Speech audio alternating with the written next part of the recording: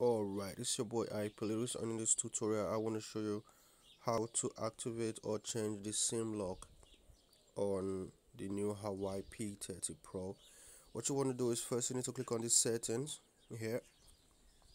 You want to scroll down to the end of the page and you go to security and privacy this one here so and after that you want to go down again to the last part of it and you'll click on more settings. I'm trying to be fast. You click on this and now you click on the second one encryptions and credentials. We'll click on that. And the top one in the top option you can see where you have to set sim lock.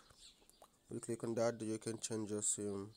You put the old one and this one can be found at the back of the sim card uh, pack so you can do so you click on that you get it done. All right have a good day